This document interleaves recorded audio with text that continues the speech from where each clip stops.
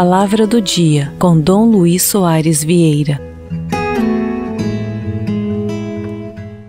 Então, hoje é dia 24 de outubro, é uma terça-feira, é? nós estamos aí vivendo realmente a palavra de Deus. Nós estamos lendo essa carta aos Romanos, como você está vendo, é uma carta muito bonita.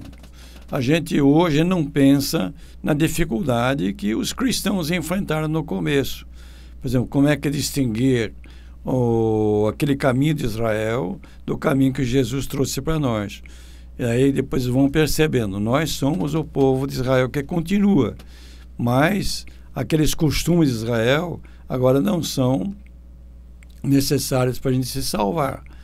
E aqui então nós estamos já no capítulo 5, versículo de 12 até o versículo 21.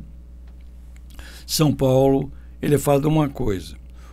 O que que equilibrou o mundo? O que quer dizer o mundo? Dizer a sociedade, a humanidade. O que quer dizer que equilibrou o mundo?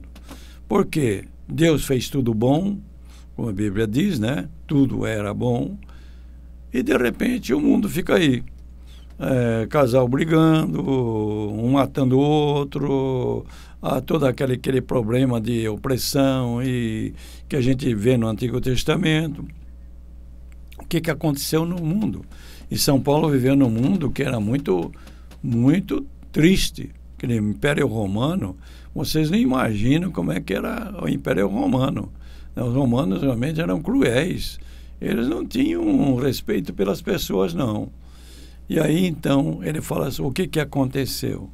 Aconteceu que houve um, um, no começo do mundo, uma coisa que estragou tudo isso, que ele chama de pecado o pecado entrou no mundo por um só homem. Então, vamos dizer, aquele comecinho, Adão e Eva, então entrou o pecado. E o pecado estragou o mundo, estragou o mundo. E a morte, através do pecado, entrou a morte. Então, aquela situação que Paulo estava vivendo, que viviam antes também, né? aquelas, aquelas mortes, aquela opressão do Império Romano.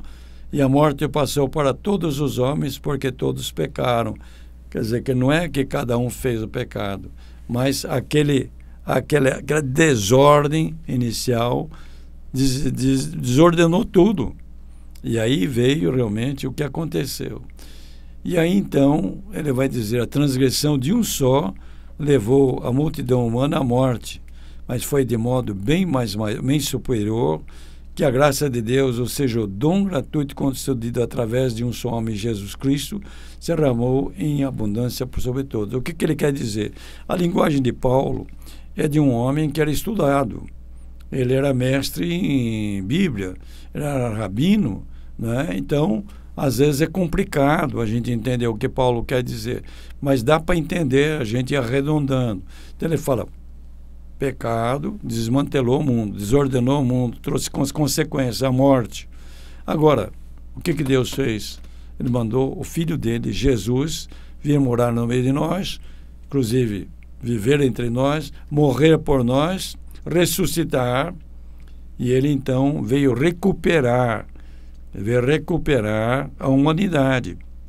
Então ele mostra um caminho novo que nós podemos viver. E aí então ele fica comparando, né? Por um homem entrou a morte. Agora, por outro homem, que é Jesus Cristo, veio a vida.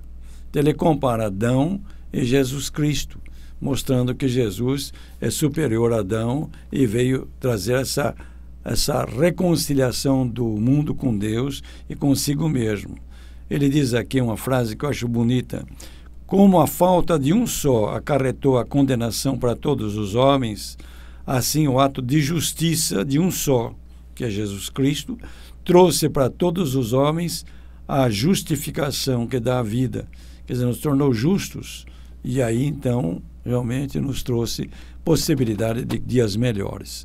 É bonito isto, ver que realmente Jesus fez por nós. Quando nós conhecemos quem é Jesus, nós ficamos fascinados por Jesus. Então, agora, uma bênção para você, tá bom?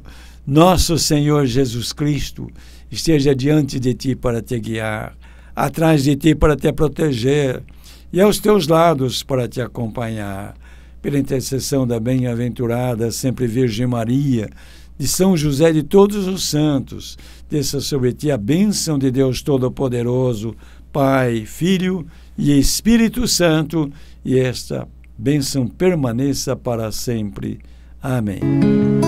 Palavra do Dia, uma produção Rádio Desterro FM 106.5. Se inscreva no nosso canal do YouTube Desterro FM.